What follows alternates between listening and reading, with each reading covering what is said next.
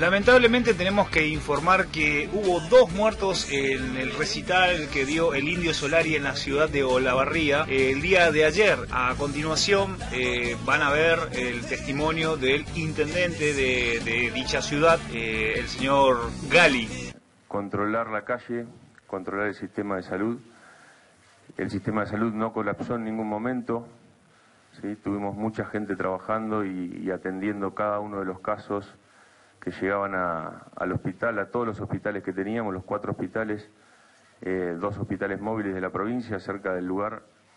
La situación eh, se fue de las manos, no, no se esperaba tanta gente realmente. Siempre se habló de 160, 170 mil personas y realmente fue impresionante lo que pasó.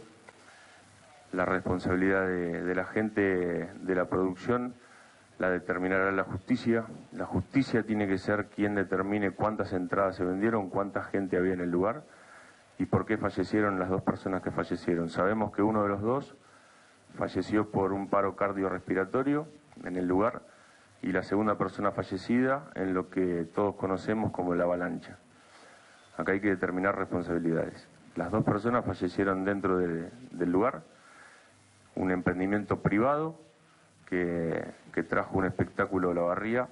Nosotros pusimos a disposición todo lo que pudimos. Eh, hoy tenemos una situación en este momento en la terminal de mucha gente que perdió el micro o la combi que lo iba a llevar de vuelta a su casa y la gente está muy nerviosa, se desmadró la situación, estamos tratando de controlar, ya hemos conseguido y quiero también llevar la tranquilidad a todos que tanto el equipo de María Eugenia Vidal como el equipo de Mauricio están hoy trabajando para que la situación de la barría se solucione lo antes posible y ya hemos conseguido alrededor de 20 micros para que se lleven a la gente que quedó, que quedó varada en la barría a su casa.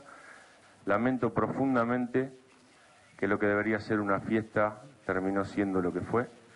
Lo lamento con el alma porque como intendente, eh, si bien no tenemos responsabilidades legales con los fallecidos, me siento, me siento responsable de la situación, pero todo el operativo de salida estaba preparado para la mitad de la gente eh, de la que había. Y, bueno, obviamente la situación se, se, colapsó la salida. Lo que sí podemos decir que eh, la retirada de la gente durante la madrugada fue, fue buena, que pudieron salir con tranquilidad. Muchos de los micros y las combis se fueron sin la cantidad de gente que habían traído y bueno, eso fue lo que nos, lo que nos trajo esta situación hoy. Pero, pero repito, la situación estaba prevista para la mitad de la gente de la que había. Bueno, lo dijo claramente, ¿no? El, predio estaba eh, pensado para 170.000 personas, habilitado. Habilitado. Esto presentan al recital, porque se armó una página en Facebook que rápidamente tuvo muchísima gente, más de 15.000 personas, eh, que se llama Recital del Indio, ¿dónde estás? Así lo buscan.